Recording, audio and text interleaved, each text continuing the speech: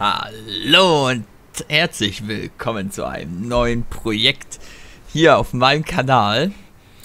Und es handelt sich, wie man ja ganz offensichtlich eigentlich erkennen kann, um den Eurotruck Simulator bzw. Eurotruck Simulator 2 im Multiplayer.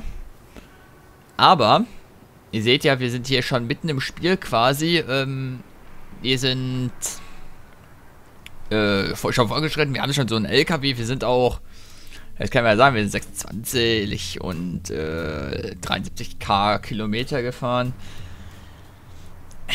Weil, und jetzt kommt das Spannende, ähm, das wird kein übliches Let's Play. Nein, das wird ein bisschen ähnlich wie das ähm, Path of Exile Let's Play. Ein reines Talk Let's Play. Es wird nur darum gehen, dass ich jede Folge ein Thema habe und darüber rede und das Spiel quasi im Hintergrund nur spiele. Ich werde es live spielen, ich werde kein Gameplay rausmachen und das dann danach vertonen. Ähm, aber ich werde halt das so machen, dass ich äh, quasi ein Thema habe, darüber rede. Und wenn das zu Ende ist, äh, ist äh, vorzugsweise auch die Tour zu Ende. Das heißt, ich werde es auch so machen, glaube ich, dass ich lange Touren, ähm, große Themen habe, kurze Themen, kurze Touren. Und äh, deswegen auch ihr als Zuschauer quasi gefordert und in der Regie seid, Themen immer in die Kommentare zu schreiben, irgendwas zu schreiben, mitzudiskutieren, alles quasi zu machen, wie so eine schöne große Diskussionsrunde. Ähm, und wenn ihr mal nichts schreibt, ja gut, dann versuche ich selbst Themen zu suchen und äh, alles mögliche. Ich hatte auch alles, wo ich hinfahren soll und was ich tun soll und hast du nicht gesehen. Und ja, ähm, ich würde sagen, wir müssen jetzt erstmal damit anfangen, eine Fracht auszusuchen. Ich bin hier in Prag in meiner Garage, warum ich, ich weiß nicht, warum ich damals mich äh, dafür entschieden habe, in Prag meine Garage zu machen. Das weiß ich nicht. Äh, Erbsen nach Osnabrück. Äh, wir seht ja, haben 30.000 Schulden. Äh, ich würde da lieber direkt eine längere Fahrt machen, aber ich will eigentlich schon noch Deutschland. Dann nehmen wir, ja, wir nehmen einfach Erb, beziehungsweise den Westen. Ich will Erbsen nach Osnabrück haben. So. Und, ähm, genau, das Thema hier für die erste Folge quasi, um alles einzuleiten, um euch ein bisschen einzutrimmen auf das Ding, ist Amazon. Amazon, die Weltmacht im Internet. Fragezeichen. Genau. Es geht um Amazon und ähm, quasi über diese. Jetzt habt ihr wahrscheinlich das Mikrofon gerade gehört, wie ich das ein bisschen verschoben habe. Äh, das äh, kann ich erklären bestimmt. Ähm, und ja, quasi wie die, die Weltmacht im Internet sind quasi das einzige, worauf sich Leute beziehen. Ich weiß nicht, worauf ich hier, wo ich hier hinfahre. Ich fahre hier falsch. Achso, ja, ich lasse mich mal kurz wenden. Ähm, genau. Und zwar ist der Anlass eigentlich für das ganze Projekt und auch vor allem für das Thema die Nachricht, die ich letztens im Handelsblatt war glaube ich, gelesen habe. Amazon will im Einzelhandel durchstoßen, also im stationären Einzelhandel, dadurch, dass sie den Lebensmittelverkauf beginnen. Und als ich diese Nachricht gesehen habe, war ich erstmal platt. Lebensmittel, Amazon. Also es ist quasi neben einem vernünftigen Geschäft mit ähm, Kleidung das einzige, wirklich das einzige, was Amazon quasi noch fehlt, um das komplette Produktfolio ähm, abzuschließen. Also, ähm, das ist halt wirklich das Einzige, was, ist, was du nicht vernünftig kriegst. Du kannst, klar, ähm, auf Amazon Lebensmittel bestellen. Es gibt ja die... Hä? Was denn jetzt? Ja, ich habe äh, 0 Minuten Restzeit. Das ist super. Dann kann ich den Auftrag direkt abbrechen, weil der bringt mir nichts. Äh... Muss ich einen neuen suchen. Ähm... Oh, nach London ist sogar sehr gut. Ähm... Das, das ist quasi... Was kannst du auf Amazon bestellen? Du kannst alles bestellen. Bücher, Spiele, äh, Computerprodukte, äh, Kleidung, alles. Und Lebensmittel gibt es ja auch schon. Es gibt klar die ganz normale Lebensmittelsparte, wo man, äh, ich bestelle zum Beispiel gerne höhere wertige. Richtig. Höherwertige ähm, Spirituosen. Ja. Ich äh, mute die mal gerade. Ähm, also hier zum Beispiel, keine Ahnung, Flasche Boyer oder so. Die kriege ich halt im Kaufland äh, vor Ort äh, für 40 Euro und auf Amazon schon für 35 Euro. Das ist auch noch so ein Punkt. Amazon hat natürlich durch seine Monopolstellung äh, die Möglichkeit, auf zum einen die Preise nach oben zu treiben, aber sie machen sie nach unten, weil sie dadurch wirklich diese Kunden akquirieren können. Das ist äh, für den Konsumenten natürlich echt schön. Und für sie kriegen die mehr, mehr, mehr. Und für den Datenschützer und den Antimonopolisten ist das natürlich die absolute Hölle. Äh, aber zurück zu den Lebensmitteln. Es gibt die einzelnen Lebensmittel, ne, so heutige Waren, äh, Spirituosen, Schokolade sehr gerne. Und es gibt die Pantry Box. Für alle, die es nicht kennen, der Pantry Box ist ein Amazon Prime Produkt. Ähm, du hast, ich glaube, eine 100 Liter Karton, der irgendwie einmal pro Monat kommt so ein Abonnement, ähm, den du halt füllen kannst mit allen möglichen Lebensmitteln. Also wirklich ähm, Produkte wie Salz für 80 Cent bis äh, zu Flaschen Wasser, alles was man halt an Lebensmitteln braucht. Ich glaube monatlich ist sogar der häufigste Rhythmus. Und ähm, das zu humanen Preisen. Also ich habe jetzt gerade im Kopf, ist ein komisches Beispiel, aber ähm, ich weiß, dass eine Tube Mayonnaise vom Billighersteller 90 Cent kostet. Das zahle ich genauso im Aldi. Das heißt, das ist ein wahres Konkurrenzprodukt. Weil sonst kennt man das ja immer nur so zum Beispiel von All You Need is Fresh oder äh, halt anderen Online-Supermärkten, dass ähm, das ein tolles Angebot ist, dass man weiß, das ist für die Zukunft das, was zählt. Aber der Preis. Ahoi. Ähm, ich bin ja wirklich der Internetrevolution komplett offen gegenübergestellt. Ähm, und ich habe mich auch natürlich informiert, ähm, ist das interessant, Lebensmittel im Internet zu bestellen. Aber ich bin darauf gekommen, nein, es ist zu teuer. Und ich habe nicht die Auswahl wie in einem Supermarkt. Allerdings glaube ich, dass Amazon das zum einen die Auswahl hat, noch nicht so extrem wie ein Supermarkt, aber schon nah. Und zum anderen die Preise bieten kann. Und ähm, wenn die jetzt stationäre Geschäfte bauen wollen, und das war nämlich das, was im Handelsblatt stand, dann ist das eine ernsthafte Konkurrenz zu Walmart, zu Tesco, zu Aldi, zur Schwarzgruppe und, ähm, ja, Your Mom get äh, Capsa. Ja, das ist auch eine schreckliche Krankheit. Capsa will man nicht bekommen. Ähm, und also Amazon, stell dir vor, zwei, wir haben, schreiben 2025. Du gehst in die Stadt, willst einkaufen und gehst in einen Amazon-Laden. Das muss man sich vorstellen, ne? Ähm, da hätte wirklich äh, Amazon quasi das Monopol im gesamten Versand- und Verkaufsgeschäft. Wenn sie das wirklich durchziehen und natürlich erfolgreich werden. Es gibt immer ganz viele Faktoren, die sowas selbst bei so einem großen Unternehmen scheitern lassen. Das ist äh, immer, immer drin. Es wird geringer, aber es ist drin. Und ähm, ja, ja. Jetzt weiß ich gar nicht, was ich sagen wollte.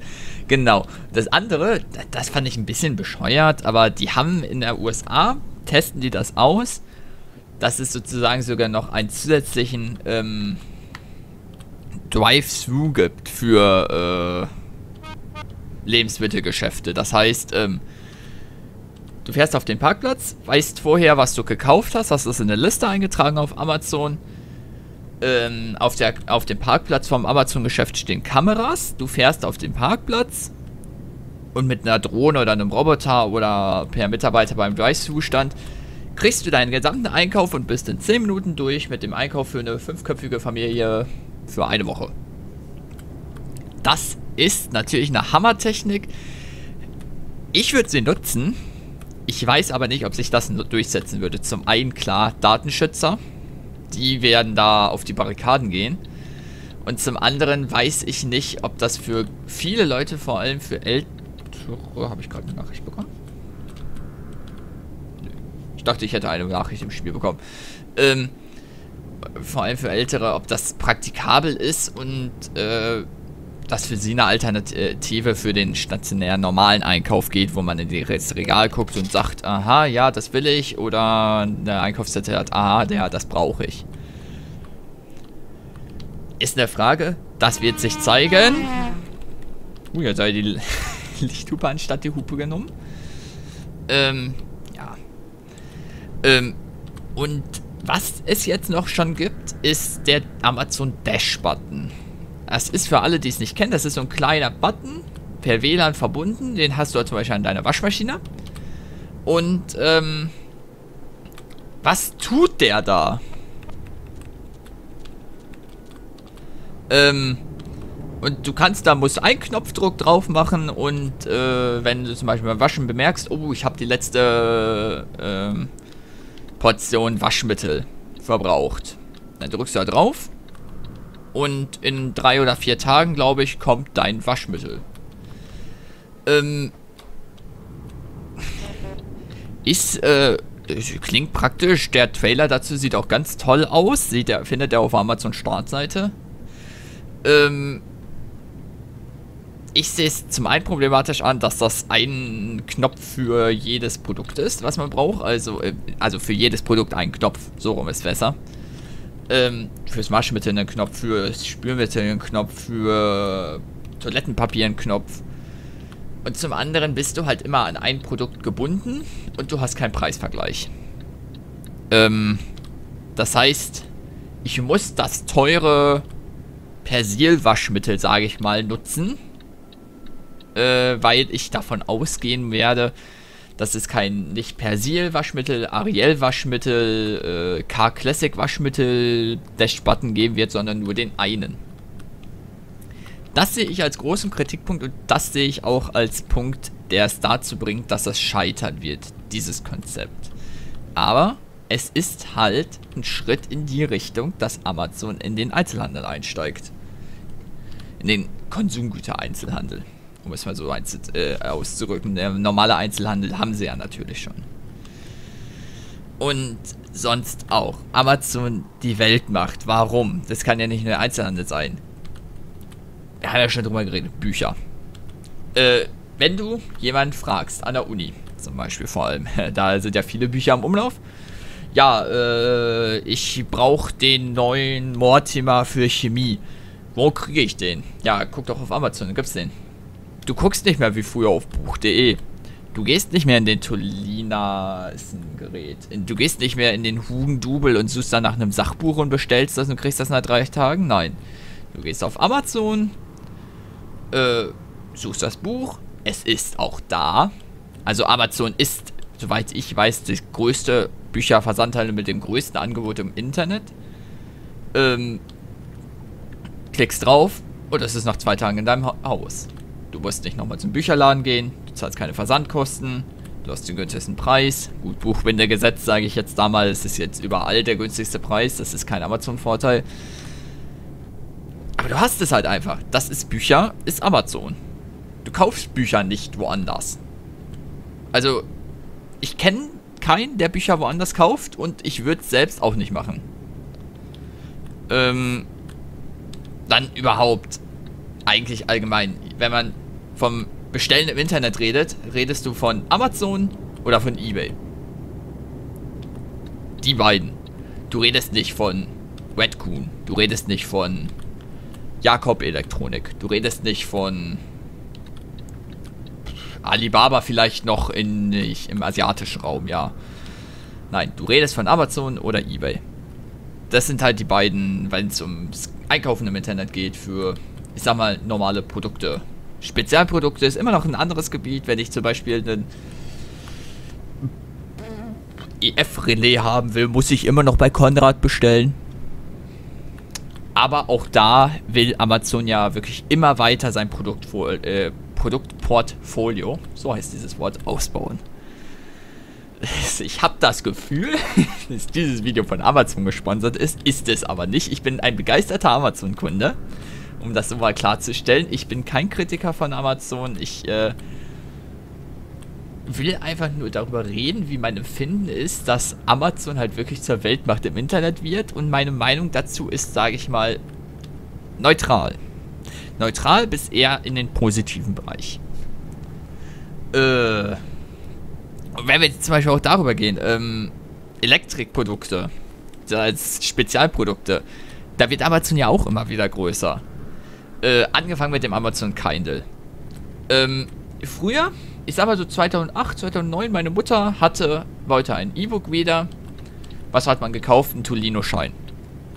Was konnte man noch kaufen? Ein Sony, ein Arcos-Gerät. Und heute? ja, äh, ich will ein E-Book wieder. Du meinst, du willst ein Kindle haben. Das ist halt so. Das ist quasi, das könntest du Dun eintragen für E-Book wieder gleich Kindle. Das ist das einzige Gerät und man muss sagen, es ist eines der oder das beste Gerät, was ich kenne auf dem Markt für als E-Book wieder. Da hat Amazon echt äh, wirklich ein Ding rausgehauen, im Gegensatz zu, wenn ich jetzt zum Beispiel das Amazon Fire Phone nehme. Oder dieses Amazon Fire Tablet. Es sind keine schlechten Geräte, es sind aber auch nicht die Oberklasse. Und ich finde, ich bin jetzt kein Profi, aber ich finde, dass der Amazon Kindle als E-Book wieder wirklich ein absolutes Top-Produkt ist. Ich kann das jedem nur empfehlen. Ähnlich wie der Tolino Shine, den finde ich auch gut, finde ich aber, ähm, sage ich mal, ein bisschen schlechter beim Lesen hatte. Ich hatte beide Geräte in der Hand. Ähm, beim Lesen fand ich den Amazon angenehmer. Aber gut, das ist ein persönliches Empfinden. Aber das Gerät allgemein kann man fast nichts gegen sagen, ist gut. Äh, die bringen ja immer mehr Geräte raus. Der Amazon Fire TV Stick, hallo? Das ist neben dem Chromecast und Apple TV das einzige HTPC-Gerät, was auf dem Markt eigentlich brauchbar ist. Alles andere sind Nischenprodukte. Ich wüsste jetzt auch gerade nicht mal andere Produkte für ja, HTPC, also quasi so ein Multimedia-PC für den Wohnzimmer ist das ja. Du hast ja einen Stick, den steckst in den Fernseher und dann hast du Netflix, Amazon Prime, Maxdome, YouTube, äh, TF-Mediathek, alles in einem Gerät. Ähm, es gibt zum Beispiel, was ich habe, aber das ist halt, weil ich sehr computeraffin bin, kenne ich sowas dann Raspberry Pi. Ich weiß nicht, ob man das Raspberry, weil das ist ja ein P und ein B. Oder Raspberry. Äh, auf jeden Fall Raspberry Pi und dann halt äh, mit Kobo. Kobo ist ein kostenloses, kostenlose freie Linux-Distribution für Media Center. Das ist auch eine Lösung, ist auch genauso gut wie der Amazon Fire TV oder Chromecast auf jeden Fall deutlich besser als Apple TV. Ähm, will ich auch jedem nur ans Herz legen. Also das Ding 60 Euro. Äh, beziehungsweise 35 Euro kostet ein Raspberry Pi, 60 Euro mit Gehäuse und Netzteil. Ähm, das kann ich jedem ans Herz legen. Das ist, das ist super, dieses Ding. Du kannst das als Multimedia-PC nehmen, du kannst es als Upload-Box, habe ich es mir nämlich bestellt, äh, dass ich quasi meine YouTube-Videos da hochlade, während ich in der Uni bin oder während ich im Urlaub bin. Weil das Ding verbraucht ja quasi keinen Strom. 11 Euro im Jahr, wenn ich es 24 Stunden laufen lasse.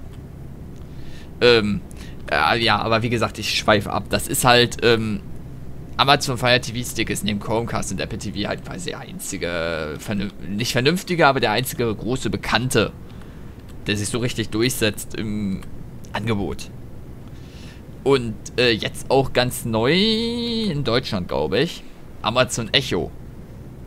Äh, für alle, die das noch nicht kennen, das habe ich auch erst ganz neu. Vor zwei Wochen habe ich es, glaube ich, kennengelernt. Das ist nur eine Box oder so, ja, ein Gerät halt. Er stellt sie in den Raum und äh, per Spracherkennung kannst du quasi dein Haus damit steuern. Du sagst, Alexa heißt sie, glaube ich, die, die Frau in der Software. Du sagst Alexa, Lichtdimmen. Du sagst Alexa, Heizung auf 18 Grad. Du sagst Alexa, bestelle mir die Nummer 28 von der Pizzeria Polo. Ähm, kenn, es gibt solche, ich sag mal, Teilgeräte, beziehungsweise Teilsoftwares, zum Beispiel als Siri oder Samsung Spracherkennung. Ich weiß nicht, wie die Frau von Samsung heißt. Ähm, es gibt auch Geräte, die äh, einzelne Funktionen von dem Amazon Echo äh, haben, wie zum Beispiel das hat ein Radio, das hat einen Wecker. Ne, das gibt ja alles, kennt man ja. Wecker ist jetzt nicht so ein neues Gerät, das gibt schon länger. Aber das Ding ist halt für mich einzigartig, weil es alles in einem beinhaltet, plus die Software so verdammt gut ist, ähm, es funktioniert das Ding. Sonst, die Spracherkennung kennt man ja immer Siri oder bei Samsung. Es äh, funktioniert da lau. Aber bei diesem Echo-Ding, das funktioniert. Das funktioniert wirklich. Und das funktioniert nur nicht nur mit diesen Dingern, ähm, die im Trailer gezeigt werden. Wie, wie ich sie gerade genannt habe. Nein, das Ding lernt halt quasi. Das ist so, ähm, du musst mehrfach quasi im Gebrauch deine Aussprache für Begriffe machen und äh, die Funktion dazu halt dann quasi ja, ja einmalig bestimmen und äh, das erkennt das dann halt mit der Zeit. Und das funktioniert, das funktioniert gut. Und das Ding, wenn du äh, das quasi in jeder Wohnung hast oder in vielen oder auch in Büros kann ich es mir auch perfekt vorstellen Du sagst, Alexa, ruft die Konferenz äh, mit allen Mitgliedern des G20 ab an, keine Ahnung. Das ist toll. Das ist praktisch, das ist gut, das ersetzt komplizierte Telefonsysteme. Ähm, das ist halt ein Gerät für alles. Und, ähm, ja, das ist das ist halt auch quasi wieder sowas, wo Amazon quasi mit den anderen Geräten, die ich halt vorhin genannt habe, ähm, in der Wohnung eines jeden Nutzers mit der Zeit irgendwann landen wird. Äh. Das ist. Es gibt doch so viel mehr Amazon Basics. Habe ich auch nicht genannt. Das ist, äh, es sind Produkte von Amazon selbst halt schon. Amazon verkauft nicht nur Amazon. Ich weiß gar nicht, ob die selber Fabriken haben, die herstellen, weiß ich nicht. Das sind wahrscheinlich Fremdaufträge. Aber die haben eigene Produkte. HDMI-Kabel, heute noch bestellt. Amazon Basics. Es ist keine Marke mehr dahinter. Das ist nichts mehr, kein Zwischenschritt. Verkauf über Amazon, Produkt von Amazon, Versand von DHL. Aber da ist Amazon ja auch im Fortschreiten. Es gibt ja die Amazon Air oder Amazon Prime Air, ich weiß nicht, wie die heißt. Die haben einen eigenen Versanddienst. Und das Ding wird sich lohnen, wenn die das richtig aufbauen, glaube ich. Das könnte eine Konkurrenz zu DHL, UPS und FedEx werden. Für Einzelhandelsprodukte. Ähm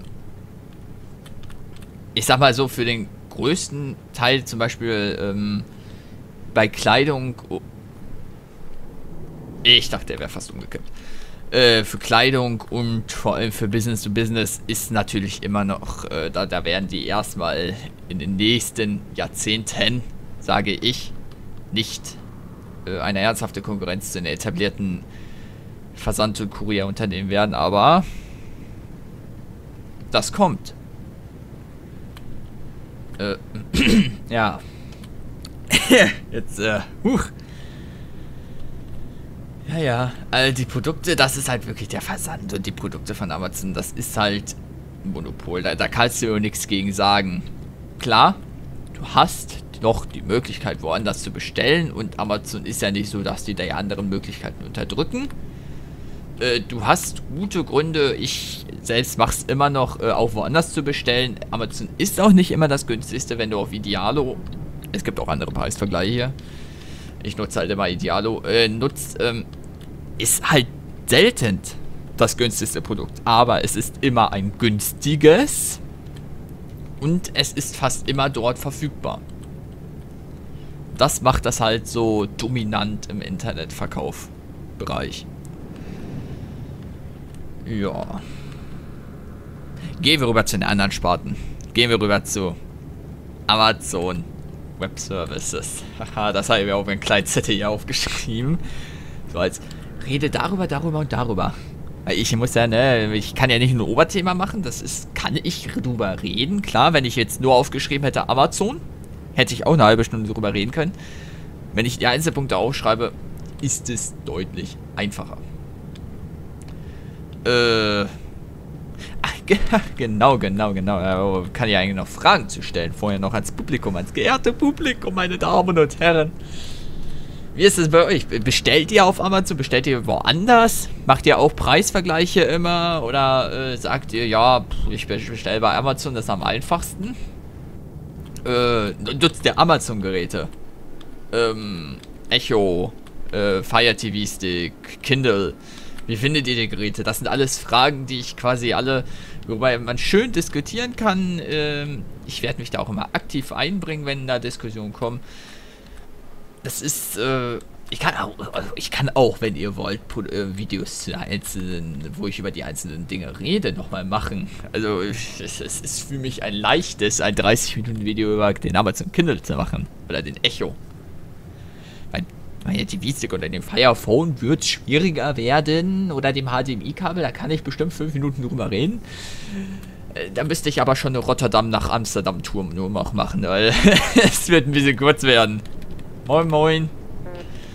Äh, ja, nee. Amazon Web Services. Äh, kennt wahrscheinlich so direkt nicht jemand. Oder nicht jeder. Allerdings werden bestimmt manche von euch Dropbox, Netflix, Foursquare, Reddit, Instagram. Das kennen möglicherweise manche von euch. Sind so ein paar bekannte Firmen im Internet. Sind so ein paar bekannte Marktführer im Internet, ähm, die auf Amazon laufen. Die laufen auf Amazon Web Services. Das, das sind Server bzw. Äh, Server-Simulation im Internet. Amazon stellt halt die Rechenkraft, das Rechenzentrum dafür. Und die laufen halt auf diesen Servern. Und ähm, das ist halt schon gigantisch, wenn auf Amazon alleine, wenn ich die beiden Produkte Dropbox und Netflix nenne.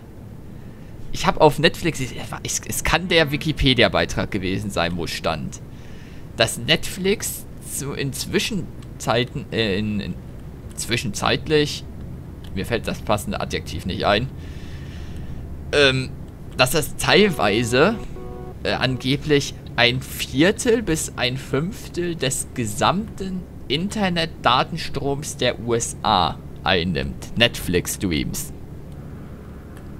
Ich habe das, irgendwo war das, ich glaube, ich glaube, es war Wikipedia oder es war auf Chip.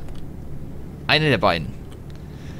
Auf jeden Fall habe ich es gelesen und das ist halt schon eine krasse Zahl. 20 bis 25 Prozent wären das. Und das ist ein Produkt, was auf Amazon Web Services läuft. Dropbox, hallo? Ähm, ein, einer der oder der größte Cloud-Speicheranbieter. Da wären noch täglich Terabyte ist ein Anfang. Das, was macht der da vorne? Da wären doch täglich Petabytes. Ich glaube, das ist die nächste Stufe, wenn ich mich nicht täusche. Hoch und runter geladen. Ähm, Foursquare. Foursquare ist jetzt ein bisschen klein, aber das ist auch, da ist so ein übertriebener Traffic drauf. Reddit eigentlich noch mehr. Reddit ist so mega ähm, Traffic-lastig, weil da halt so viele Leute posten. Auf, äh, auf Instagram, ich will es gar nicht wissen, wie viele Bilder täglich auf Instagram? Ja, ich mach dir ja schon die Spur frei. Ah, Drängler. ich will gar nicht wissen, wie viele Leute Videos, Videos gibt's ja auch, und Fotos halt auf Instagram posten und die Server laufen. Ich, das, das, also ich sag, dass das ohne Probleme Amazon Web Services permanent eigentlich ein Viertel des Internets in der USA zumindest ausmacht. Ähm, und dann stell dir mal vor, dass ein Viertel des Internetdatenstroms von einem Unternehmen kontrolliert wird. Da kann... Linker Seitenspiegel. Ich sag da nichts zu. ähm...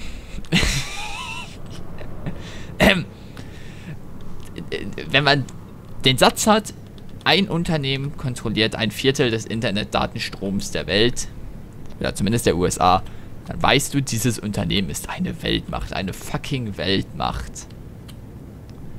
Ähm, Amazon Prime auch. Äh, das, das ist ja nicht nur, wenn wir das an reinen Zahlen des Datenstroms messen, auch Amazon Prime. Es ist halt quasi, das, ich, ich nutze diesen Satz, das ist die einzige quasi Konkurrenz sehr gerne.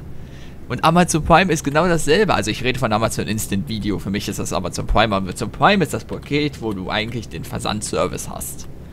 Das ist gar nichts, worüber ich so richtig reden kann. Das ist nicht so, was ich vergleichen kann, weil ich kein richtiges Vergleichsprodukt auf dem Markt kenne, aus als Prime. Deswegen kann ich das schlecht drüber reden und das als Weltmacht halt ansehen. Vielleicht kann man höchstens sagen, ja, es ist das einzige Unternehmen, was ich kenne, was es anbietet. Aber äh, reden wir über Instant Video bzw. Prime. Wenn du äh, Video on Demand haben willst, ja, dann hast du Netflix oder Prime. Oder wie ich beides. nein, nein, nein, nein, nein. Ich habe kein Netflix. Ich habe Netflix über den Familienzugang von meiner Schwester. Meine Schwester, die YouTube-Familie. Kennt ihr auf YouTube. Ist so eine 30.000 Abonnenten-Kanal, der Schwangerschafts- und Familien-Vlogs macht. Werbung für meine Schwester zu machen. Ähm, also Netflix und Amazon. Das sind die beiden, äh, wo du Angebote hast. Und das sind auch die beiden vernünftigen. Das sage ich so direkt. Maxdome gibt es, aber pff, mein Vater schwört auf Maxdome, aber ich finde Maxdome halt lächerlich. Das ist, sie sagen, ja, wir sind das größte ähm, Video-on-Demand-Ding. Ja, das liegt auch daran, dass 75% von eurem Angebot äh, Pro7 Sat1 äh, Group Angebote sind. Und wenn allein durch Schlag den Raab 80 bis 100 Sendungen sind, jede TV-Total-Sendung da drin ist als einzelnes Angebot, ja klar, dass sich das sammelt wenn die Tagesschau mit ihren knapp, ich weiß gar nicht, irgendwann hatte ich es mal ausgerechnet, mit ihren knapp 40 oder 50.000 Tagesschauen ein eigenes Video on Demand machen würden, die wären auf Anhieb von der Zahl größer als Netflix. Aber das wäre halt auch lächerlich, weil das ist halt nicht so eine große Produktion wie Netflix oder Amazon-Serien. Und äh, das ist übrigens das Thema für nächste Folge. Ja, genau, ähm, dass ich über Netflix und Amazon-Serien rede. Deswegen will ich da jetzt gar nicht. Was tut der da? Der ist auf der falschen Spur. Ähm, aber das ist halt auch wieder. Äh, du hast halt nur die beiden, weil es die beiden vernünftigen sind. Auch, weil man natürlich dazu sagen muss, es sind äh, die beiden, die es als einzige vernünftig geschafft und gestaltet haben. Maxdome hätte die Möglichkeit gehabt, sage ich ähm, auf dasselbe Niveau wie Netflix zu kommen. Es gab Maxdome, glaube ich, ich könnte auch äh, lügen, früher als Netflix. Ich bin mir fast ziemlich sicher. Mit Love-Film hat es ja angefangen, das ist auch ein Amazon-Produkt. Ähm, aber Maxdome war bei Video on Demand früher, auf jeden Fall früher in Deutschland verfügbar als Netflix. Und äh, das ist noch so, dass in Deutschland zumindest das einzige vielleicht annehmbare Nebenprodukt. Sky, also bitte. Es gibt ja Sky on Demand oder wie heißt das? Sky and Go. Das ist höchstens. Du holst dir Sky nur wegen Bundesliga, nicht wegen On Demand. Ähm. Es gibt. Was gibt's denn noch? Exdome. Es gibt Watch Ever. Das ist, äh, also das ist ein bisschen, wo, muss man wirklich drüber lachen, wenn du sagst, ähm, ich guck äh, auf, ich guck meine Serien auf Watch Ever, ist das ein bisschen so, wie wenn du sagst, ja, ich guck meine Videos auf MyVideo. Oder auf Clipfish. Also, merkst du selbst, ne? Amazon Prime und Netflix sind halt wirklich, das sind auch die, die, ich sag mal, die größte qualitative Auswahl haben. Ähm, halt, wenn du allein solche Serien wie Breaking Bad, äh, The Walking Dead,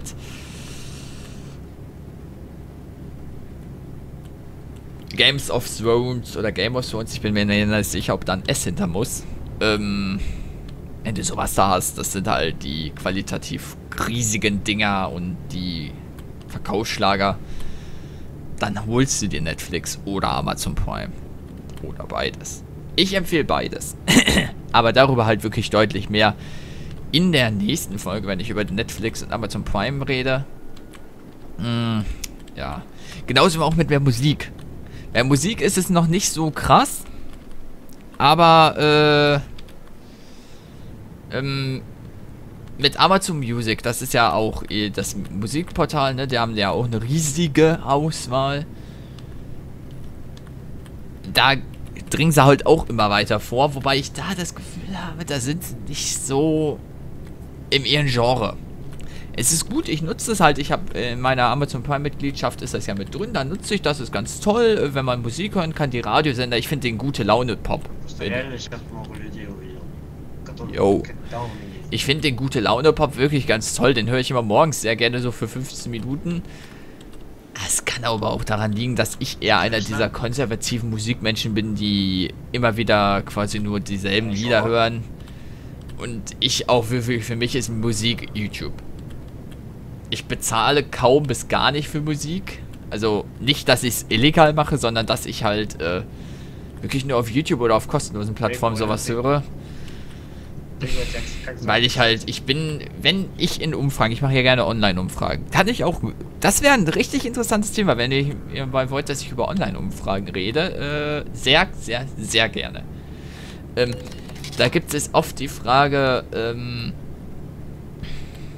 äh, äh, äh, sind Sie jemand, der gerne neue Musik entdeckt? Und ich musste halt immer sagen, stimme gar nicht zu. Weil das ist halt, ich bin halt wirklich jemand, also ich habe auch so meine Wochen, sage ich mal, dann mal, da höre ich dann so zwei Wochen dasselbe Lied in meiner Playlist mit so fünf anderen Liedern und ich hatte musikalisch ist jetzt nicht so. Das ist auch, wenn man so privat Smalltalk führt und dann, da bin ich auch halt einer der Leute, die sagen, entweder, ja, ich höre das, was in den Charts läuft. Manchmal sage ich auch gerne Soundtracks, weil ich habe, ich habe, ihr kennt ja meinen GEMA Sound, äh, GEMA frei Soundtrack ähm, das sind da irgendwie 50.000 Lieder, da hört ihr halt wirklich sehr gerne Soundtracks von Spielen und Filmen. Das würde ich vielleicht noch sagen, aber ich bin halt kein Musikmensch. Taylor Swift. Okay. Taylor Swift ist eine Göttin. Ähm, das ist noch was anderes. Aber das ist ja jetzt eigentlich mal auch nicht so Special-Musik. Das ist halt auch schon noch Pop. Auch wenn ich Taylor Swift lebe, da würde ich auch gerne drüber reden, aber. ne? Ähm, ja ich bin halt, was Musik angeht, nicht so. Aber das ist ja das, was wieder ablenkt. Äh, da sehe ich halt, es ist groß, aber es ist nicht die absolute Superkonkurrenz. Da sehe ich als, äh, ja nicht als Weltmacht, aber als einer der führenden Mitglieder iTunes an. Und äh, immer weiter auf dem Vormarsch ist Spotify. Äh, Spotify deshalb, weil es kostenlos ist. Beziehungsweise quasi kostenlos ist, ist ja beides möglich, soweit ich weiß. Aber das Kostenlose ist mit Werbung. Ich finde solche Konzepte gut, wenn die mit Werbung sind. Ich gehöre auch immer zu den Leuten, die äh, sagen, ja, wenn irgendwo Werbung ist, unterstütze ich das. Großteils. Ich gehöre auch zu den Leuten, die haben keinen Adblocker. Ähm, weil ich weiß, dass die sich halt darüber finanzieren. Und Spotify, denke ich halt, ist deswegen so groß, weil die halt äh, dieses Konzept sehr, sehr, sehr gut ausführen. Ja, und iTunes halt wegen, weil es riesig ist. Musik gibt es auf iTunes. Und, aber das Problem ist halt, der Musikmarkt ist halt wirklich riesig. Es gibt iTunes, das ist riesig. Es gibt Google Play Mu Musik, das ist riesig. Äh, und dann da gibt es ganz viele, ich sag mal, kleine Portale, die aber auch groß sind. Dieser. Äh, Mais vas-y, mais va manger ton couscous, jetzt fallen mir gerade gar nicht so viele ein. Ähm, huch!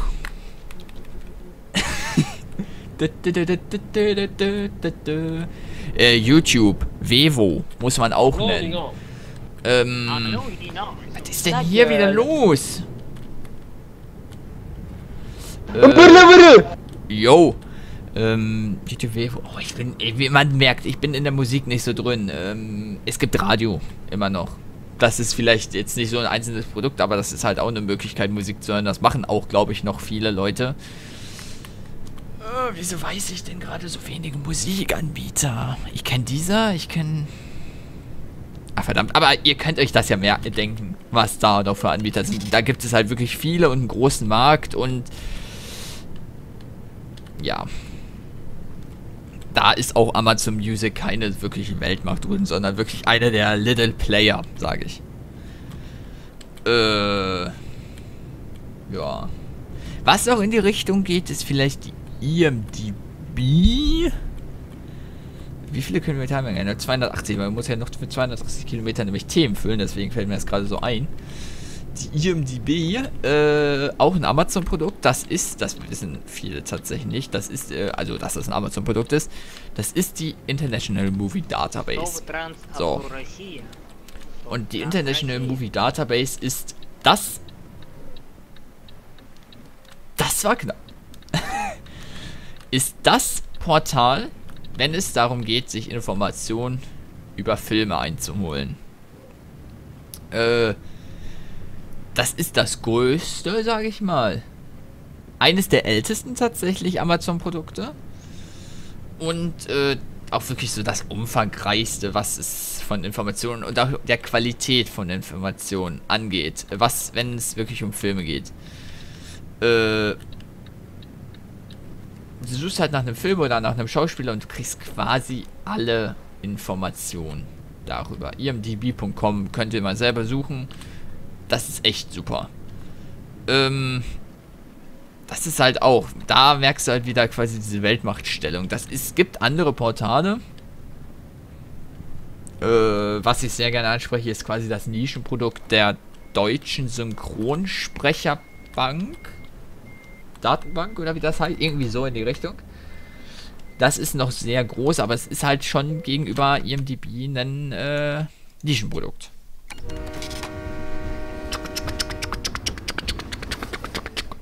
Ähm. Oh, und es gibt noch das, äh, wie heißt das? Meta, Meta, Meta, Meta Square oder Metascore? Jetzt weiß ich gerade gar nicht, wie das heißt. Metascore oder so, das ist äh, auf, gibt's auch für Computerspiele. Das ist aber mehr eine Bewertungs, äh, Portal, aber da findest du halt auch sehr viele Daten über Filme und so. Äh, da kannst du natürlich dann Rotten Tomatoes nennen. Boah, Rotten Tomatoes finde ich super. Wenn es um Filmbewertung geht, Rotten Tomatoes. Soll ich ein Video über Rotten, äh, über Rotten Tomatoes oder über Videobewertungsportale machen? Schreibt in die Kommentare. ähm, da findest du aber auch extrem viele Informationen. Oder halt Wikipedia würde ich da noch auf jeden Fall nennen. Äh, wobei die sich die Informationen aus diesen Portalen nehmen. Das ist halt wo, wir ja ein bisschen schwer darüber, das quasi so dann zu sagen. Ähm, welche Videoportale gibt es denn noch so groß? Oder ähnlich groß oder gut wie IMDb? Wüsste ich jetzt auch schon gerade gar nicht. Ähm, ach, das ist halt wirklich, ähm, auch wenn es was darum geht, eine der oder das Monopol. Quasi. Oder, genau. Ähm, Twitch. Das ist, äh, Amazon hat ja Twitch gekauft für fast eine Milliarde Dollar. Oder über eine Milliarde. Nee, eine Milliarde Dollar waren es, glaube ich. Etwa 970 Millionen, glaube ich. Und, ähm, Twitch ist halt, äh, Wort für sich. Was machst du? Äh, ja, ich twitche. Ja, obwohl, das sagt man nicht. Man sagt aber, wenn man sagt, ich streame, dann sagt man, ja, ich bin auf Twitch. Es sei denn, man ist einer dieser ekelhaften You-Know-Menschen. Ich finde You-Know ekelhaft. Ich finde Menschen auf You-Know ekelhaft. Ähm, für mich ist das ein absolutes No-Go-Portal. Ich sage nur das Stichwort Kinderpornografie und äh, da bin ich komplett strikt. Ich werde nie auf YouKnow äh, streamen, ich werde nie auf YouKnow gucken. Ich werde meine negative Meinung über was macht der denn da über YouKnow immer beibehalten und ähm, was tust du da? Sag mal, nur weil, wir, weil du aus Russland bist, da musst du nicht besoffen sein. Ähm, also YouNow ist für mich nein. Und YouNow ist ja auch äh, nicht so wie Twitch ein Computer oder, ja, ich sag mal, Spiele, Stream-Portal, sondern halt, das streamst du dich selbst als Person. Bei Twitch geht das jetzt, sage ich mal, auch schon so durch die Funktion der Gaming Talk Show. Es ist aber noch der Fokus ganz stark auf Spiele und nicht auf sich selbst streamen. Äh, es gibt Hitbox, es gibt YouTube Gaming. Hitbox hat, glaube ich, verloren. YouTube Gaming ist im Kommen. Äh, aber Twitch ist halt die Dominanz. Und äh, auch die Kombination Amazon Prime und Twitch, das ist auch, da haben sie auch wieder gezeigt, ja, wir sind Amazon, wir wollen eine Weltmacht sein, wir äh, fügen das zusammen und ähm, das äh, ist erfolgreich. Das ist jetzt seit zwei oder drei Wochen so und das ist schon erfolgreich. Vor allem auch, weil es eine Win-Win-Situation ist. Amazon Prime, beziehungsweise Amazon denkt sich, ja, die Leute, die äh, auf Twitch gehen, sind ein weiteres Kundenfeld für Amazon. Und das ist so. Ähm, ich weiß nicht, was der da tut.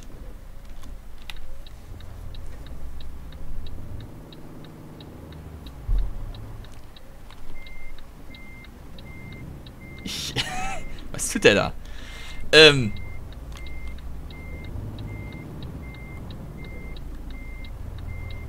Was tust du da? mein Freund. Hä? Hä? Hä? Hä?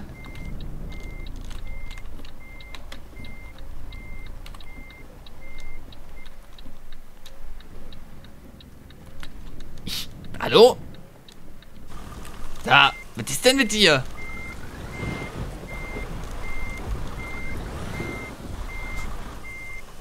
Ich kann hier nicht weiterfahren. Ähm, wie gesagt, Twitch denkt sich, ja, äh, das ist ein ist ein weiteres Kundenfeld. Ich speichere mal hier vorsichtshalber. Ich weiß nicht, was da noch passiert. Ähm. Ja. Ganz komisch.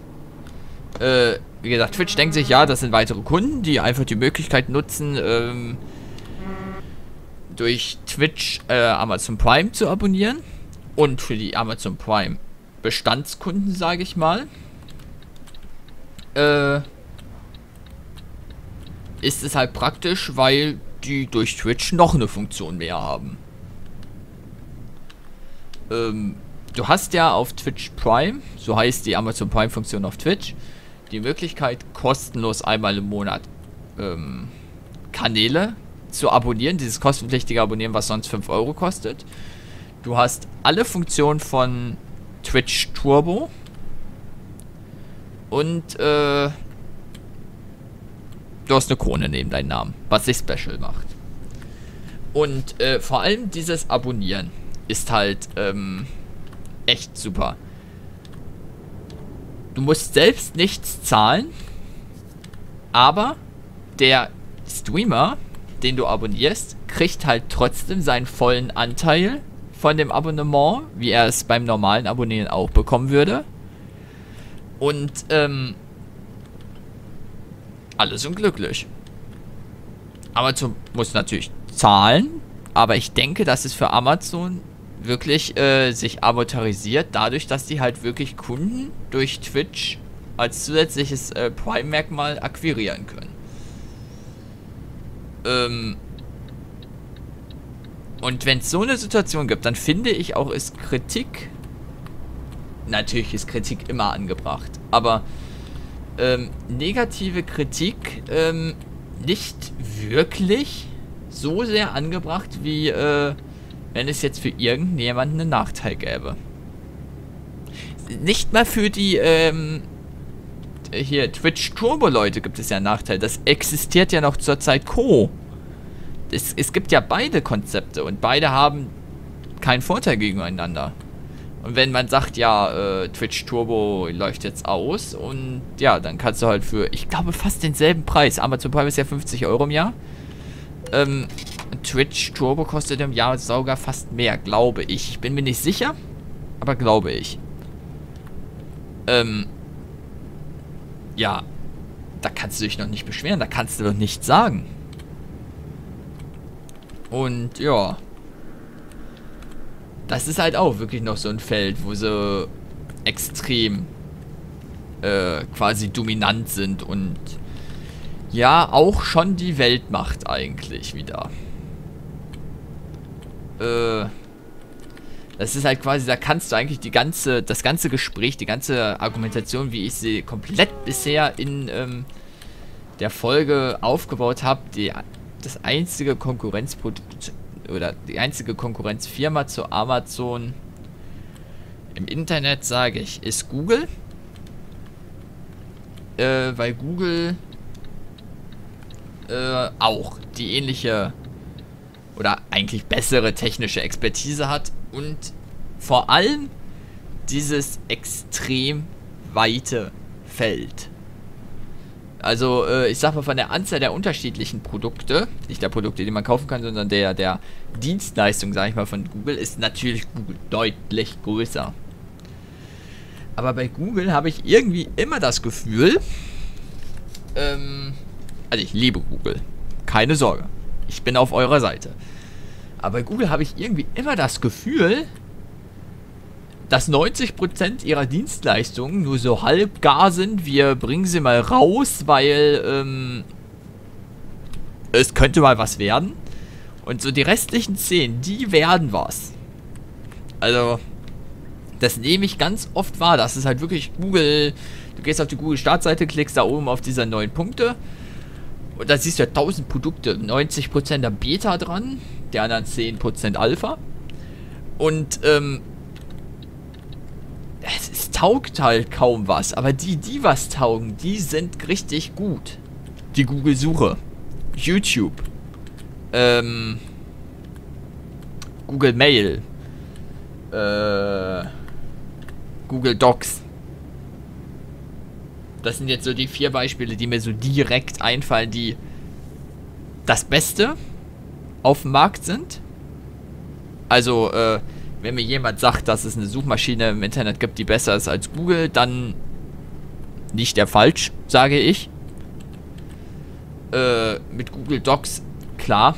Ich sage, dass äh, Microsoft Office besser ist, aber auch Microsoft Office 365 oder wie dieses Online-Portal von denen heißt, ähm, aber das kostet was. Google Docs ist kostenlos. Und dafür, dass es kostenlos ist, sehe ich es als bestes Office-Programm und als vor allem als bestes Online-Cloud-Office-Programm. LibreOffice und OpenOffice sind gut, aber Google Docs ist besser, sage ich. Äh, YouTube. ne, da habe ich ja schon meine Witze drüber gemacht. Also bitte. Das ist das beste Videoportal im Internet. Und das ist auch das einzige. MyVideo finde ich Schwachsinn. Äh, Clipfish ist Schwachsinn. Ähm, Vimeo, naja, ist eigentlich auch nicht so wirklich das Wahre. Äh, Dailymotion ist für äh, ist Dailymotion ist eigentlich eine YouTube für äh, Raubkopierer beziehungsweise für Leute, die äh, Videos hochladen wollen, ohne Copy Strike, Copyright Strikes zu bekommen. Das ist auch das einzig wahre. Google Mail sehe ich auch als besten Mail-Server an, außer du hast Outlook oder halt einen eigenen, nicht PHP, sondern, wie heißen die Dinger dann nochmal? Ich weiß gerade nicht, wie das heißt, aber ihr wisst das bestimmt. SQL, nein. Irgendwie so in die Richtung auf jeden Fall. Und da ist London. Das sieht doch schick aus. Ähm. Auf jeden Fall, ihr wisst, was ich meine. Äh. Und dann gibt es halt so Negativbeispiele wie Google Flights. Ähm. Wie. Äh. Ja, ich nutze diese Produkte nicht, deswegen weiß ich Google Plus. ist vielleicht nicht so schwer. Ähm, die hat Google rausgebracht. Und das war's. Die sind nicht gut. Die werden selten eigentlich weiterentwickelt, soweit ich das weiß. Und ja, die sind echt nicht das Wahre, nicht das Gelbe vom Ei. Und ich würde sagen, ich habe relativ viel, relativ umfangreich und auch für mich relativ befriedigend das klingt zwar ich, also dieses Wort befriedigend klingt halt immer falsch, weil man es mit der Zeit immer weiter versaut, nur noch im Kontext gebracht hat. Ähm, aber für mich relativ befriedigend äh, das Thema besprochen habe und liegen jetzt auch bei einer Stunde. Ja gut, wir sind auch äh, quer durch Europa gefahren. Das ist natürlich wirklich eine Megatour. Ich würde sagen, äh, aber als äh, Pilotfolge ganz gut. Kann man machen. Die restlichen Folgen versuche ich halt dann so auf 20 Minuten dann immer zu bringen. Ist vielleicht sinnvoller. Aber, wie gesagt, schreibt Themen in die Kommentare, diskutiert über die Themen. Und, äh, wir sehen uns bis zur nächsten Folge. Bis dahin und tschüss.